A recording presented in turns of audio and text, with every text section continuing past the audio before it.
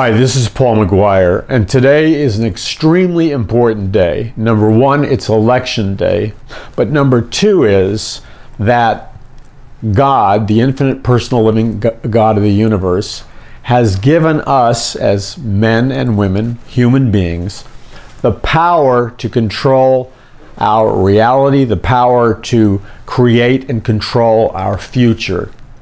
A lot of people falsely believe that the Bible teaches some kind of fatalism where God just like runs everything and, and we just sit in the chair and watch. Now, there are certain events that we can't change with our actions or our decisions. Things that God has written in His prophetic word like the second coming of Jesus Christ, or when the Antichrist comes, and the distribution of the mark of the beast, and so many other prophecies are going to happen no matter what we do. But outside of that clear prophetic program written in the Word of God, there, the Lord has given us a tremendous amount of individual power and freedom to create our future and to choose our future. Now, not every nation uh, has been given this blessing. The only reason we have this blessing to choose in America is because our founding fathers established our government based on biblical truths. And therefore, we, the people, have been given the power to elect presidents and senators and congressmen and so on and so forth. But if we don't exercise that power, then those people who may have a completely different worldview than we have, they will exercise their power and their vision of the future, their uh, creation of the future will be the one that rules. Years ago, I wrote a book called Who Will Rule the Future or Resistance to the New World Order. And the whole concept was that God has given us the power within certain parameters to rule the future. So, right now before us, we have two different pathways. On one hand, we have those people with a secular humanist worldview. They don't believe in the God of the Bible. They don't believe in an absolute right or an absolute wrong. And they believe essentially that man is God. So, this is their set of ideas. And that set of ideas, if you look at history, always produces certain consequences. Conversely, the other path that we have before us is what could be called the Republican or Christian or conservative worldview. And in this worldview, for the most part, there's an acknowledgement of the God of the Bible. There's an acknowledgement of the reality that there's an absolute right and an absolute wrong. And we have the power to choose whether or not we're going to create a future in America that is based on God's laws and God's viewpoint of things. Now, we should remember this is not just a competition between two equal points of view as, as uh, our children are being taught in the school system. This isn't a, a, a competition between equally uh, two valid points of view. It's deeper than that. Ultimately, Christianity is not a religion. Christianity is truth. The secular humanist worldview pretends that it's scientific fact, but it's not scientific fact. It is a religion. The Supreme Court defined it as a religion. It's just their opinion. And by the way, their opinion in the secular humanist worldview is not scientific. The bottom line is there is no scientific proof out of 80 million fossil records. There's not one fossil record that proves that Darwin's theory of evolution is true. So it's a fantasy, and it requires faith to believe in it. Now, each one of us, we're supposed to participate in our governmental processes. We're supposed to vote. We're supposed to speak out. We're supposed to be active but we do so based on our belief system and our set of ideas. The mathematical precision upon which ideas and a future are created from a secular humanist point of view, they're always the same. Humanism, without exception, once you reject God's word, one, once you reject uh, God's laws, humanism always produces totalitarian states and dictatorships. Communism or Marxism or even, even Adolf Hitler's National Socialism all produced a totalitarian regime, a dictatorship, a centralized, all powerful government. Because you see, humanists don't believe in God, and so they have to create their own God, which is man and government. But the problem is, man is a fallen and sinful uh, human being. Our, our very nature is fallen from Adam and Eve. So it always goes in the direction of destruction. There is not one single example of a humanist revolution or humanist ideas ever producing in the long term economic prosperity, uh, betterment for mankind. It never produces the social justice that it promises. It never produces the, the fair redistribution of wealth as it promises. And on top of that, you always see a super wealthy elite emerge in these communist, humanist, Marxist nations. And you have more billionaires, for example, in Moscow than you have in Washington, D.C. So what happens? In a humanistic regime, because there is no God, and God's love, by the way, there is always dictatorship. And that always ends up enslaving the people, taking away their rights, making them work as slaves in poverty, and yes, tragically, in every humanistic revolution, at some point, it enters the danger zone where you see mass killings, concentration camps, re education camps, and the horrors of a brutal dictatorship. Even secular authors like George Orwell in 1984, Ray, Ray, Bradbury, where the fire department burned books instead of putting out fires, and even in Aldous Huxley's book, Brave New World, we see warnings of what inevitably happens when a humanistic dictatorship emerges. So, right now, here in America, we're faced with two different pathways. Again, one is the humanistic pathway, the other is the pathway of a biblical worldview. Now, if we proceed down the road, which we have been for many decades, of a humanistic worldview, we're going to end up very quickly in some kind of totalitarian regime. It may be a soft totalitarian regime or a hardcore dictatorship.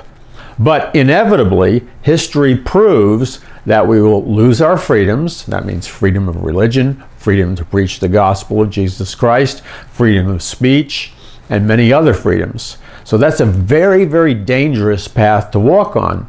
And the only reason people choose to walk on that path is because they've been scientifically dumbed down and they don't know what the historical consequences are to humanism. Now, on the other hand, we have the biblical worldview. Our nation, America, was based on a biblical worldview. And so all of our freedoms, such as life, liberty, and the pursuit of happiness, all of our freedoms came from the founding fathers who were raised up in a biblical worldview. So we have words in our Constitution and Bill of Rights like the Creator, capital C, has given us certain inalienable rights, such as life, liberty, and the pursuit of happiness. There's no other document in any government anywhere that has such a wonderful promise. And we have freedom of religion, freedom of thought, freedom of the press, theoretically.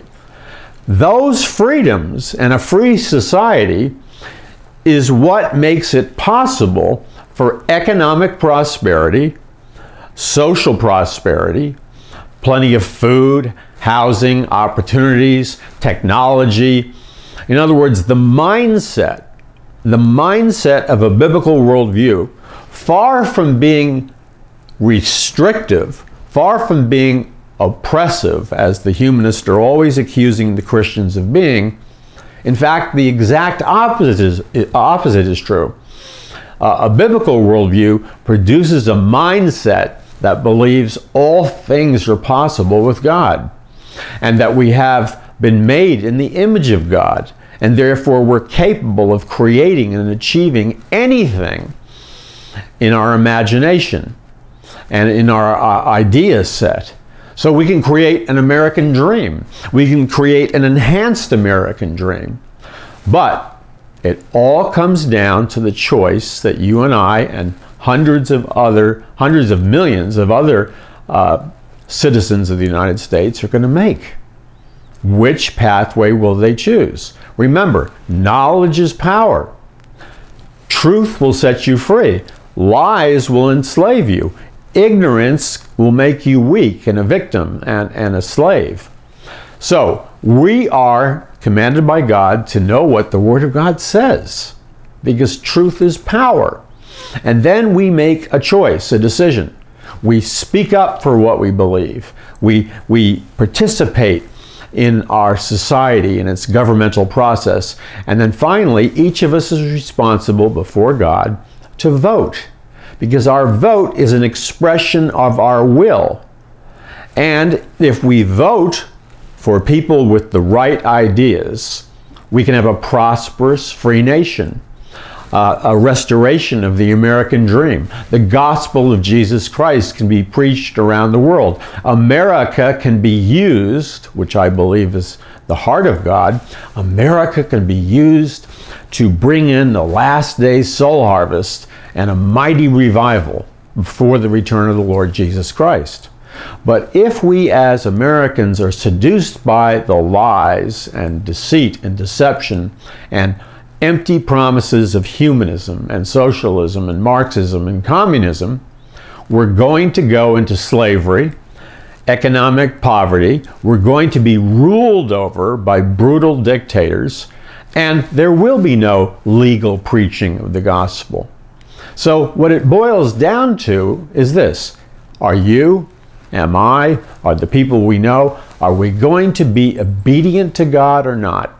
Because God command people say, well, I don't know where in the Bible it says that that you you know have to vote. Well, that's insane. Jesus said we are to submit to the government in the land that we live in. So if we as Christians are properly submitting to our government here in America, we're doing what our government uh, expects of us. And what does our government expect of us? To not only do things like pay taxes, obey the laws, but our government expects us to function as citizens that are active, knowledgeable, and participate in society and vote because the democratic republic in which we live cannot function without we the people voting. So when Christians who supposedly have ideas based on the Word of God that release blessing and prosperity and freedom in a society, when they don't vote, they're empowering or energizing a nightmare reality of dictatorship, totalitarianism, or brave, uh, a brave new world, or George Orwell's 1984. That's the future we're going to bring about.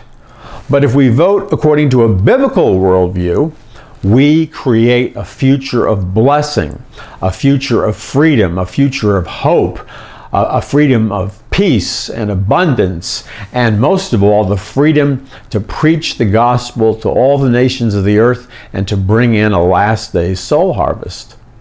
So, this is the bottom line. The bottom line is this God has given us people the supernatural authority and power to create reality and to create the future within certain parameters and within the structure of His prophetic written word before the return of the Lord. Now, if we obey the Lord, we will be blessed. If we reject God's word, we will be cursed. That started with Adam and Eve when they rejected God's word, listened to Lucifer, who indwelt a serpent being, and ate from the fruit of the tree in the middle of the garden. That action resulted in them activating the law of sin and death, and a curse was placed on the world and all human beings. When Christ came, the Messiah, the Savior, we were given the opportunity by God to undo the curse. And so anyone who believes in Jesus by faith and receives Christ into their life by faith can be born again, and the curse is removed and blessing is imparted. So it's imperative today that, first of all, you seek the face of God. You pray to the Lord. You have some knowledge of what the uh, different uh, politicians stand for. And absolutely, you don't cop out by making an excuse. Well, you know, I had to have a, uh, you spend more time at McDonald's, so I couldn't vote or whatever. Or I couldn't miss my favorite TV show. No, that's, that's sin. That's disobedience to God. And if you don't vote or participate, you're responsible. Yeah, you're directly responsible for all the evil that is unleashed upon a society through your apathy. But if you obey God, then you can impart blessing to a society and you can release the goodness of God and the salvation of God. So you see, we are not passive participants living here on planet Earth. No, we've been given the supernatural power of God to rule and reign over planet Earth. That's what God gave Adam and Eve in the Garden of Eden. They lost their supernatural authority and rulership when they rejected the Word of God. But when we accept Christ, our sins are forgiven, we're cleansed by the blood of Jesus, and now that supernatural authority to rule and reign in this life is uh, restored substantially. And that's why Jesus Christ said to the church, and Jesus Christ is saying to you, occupy the land until I come.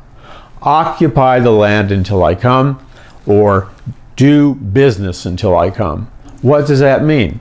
We're not to, to, to be in the land for us in America, the land we're supposed to occupy is America. If you're in Sweden, it's Sweden. If you're in France, it's France, and so on. We're to occupy the land until the return of the Lord Jesus Christ. That means through the power of the Holy Spirit, through renewing our mind with God's Word, by receiving the wisdom of God, we are actively to restrain evil, to drive out the demonic forces, and infuse our nation with the principles and practicalities of the truth of God's Word, which renews our society, preserves our society, and allows God to bless our society. But all of this is contingent on basic areas of obedience. Like, am I going to pray seriously that God's choices will win the election? Am I going to intercede for the election? Am I going to fast? Am I going to deny myself and engage in spiritual warfare? Because God can supernaturally intervene in an election, and God, if His people will call upon Him, can cause good men and women to rise to power. But if God's people don't pray, then the powers of darkness, the principalities and powers, can cause evil men and women to, to inhabit uh, high positions of leadership. And their evil natures uh, unleash great evil in our nation. When we do that, what we're doing is surrendering the territory that God has given us to occupy. That's why it's so essential that we occupy the land until Jesus comes. But ask yourself, how many Christians are truly obeying the Lord? How many Christians are truly fasting and praying and occupying the land? When it comes down to it, America is going to enter one future or the other. And God forbid if God's people disobey Him and fail to occupy the land and fail to vote and fail to participate, and we end up in a humanistic totalitarian dictatorship, there will be Christians who were in apathy land, and there will be a tremendous amount of weeping and shedding of tears, and deep regret and deep sorrow over the hellish uh, events that will be unleashed upon the earth. Ask yourself the question Adolf Hitler, head of the Nazi Party, demon possessed, the political parties that hit that put Hitler in power were really secret German occultic societies like the Vril Society and like other occult societies, Thule. These were occult satanic societies. And it was the occult satanic societies that put Adolf Hitler into power. For what purpose? Adolf Hitler was demon possessed. So he was doing the bidding of his master Satan. How did that turn out? What happened was, as you know, 8 million people were slaughtered in the concentration camps during the Holocaust. The largest number of people, approximately 7 million of those slaughtered, were Jews. The remaining million were Protestants and people of other religions. None of that should have happened. Why did it happen? Because Christians in history, in Germany, at the time Hitler was rising to power, refused to occupy the land. And they were ignorant and they had no spiritual discernment. Even though Hitler and the Nazi Party openly used occult symbols like the satanic lightning bolts of the SS, like the swastika, which is an ancient Tibetan occultic symbol, and the many other satanic and occultic symbols like the skull and bones, which represents death. But Skull and Bones was also one of the German secret societies. It's the same secret society that was transplanted to Yale University. And many prominent American politicians are members of Skull and Bones. It's a satanic society. So, Hitler didn't seize power illegally. Adolf Hitler was vote, voted into power by a huge majority. And you know who voted Adolf Hitler and the Nazis into power? The church, the Christian church, and the Catholics. They, the religious people, the people that claim to know the truth, were the ones who were the most deceived. And Hitler rose to power and was put into power by Christians and pastors and churches. Now, that should be very uh, sober to you and me as a reminder of what happens when good men do nothing and evil triumphs.